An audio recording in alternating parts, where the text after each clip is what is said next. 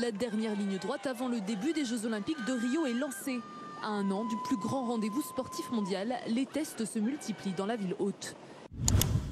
Un décor de cartes postales dont voici le côté obscur.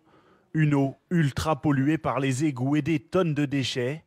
C'est ici pourtant, dans la baie de Guanabara, qu'auront lieu certaines épreuves nautiques des Jeux Olympiques l'an prochain.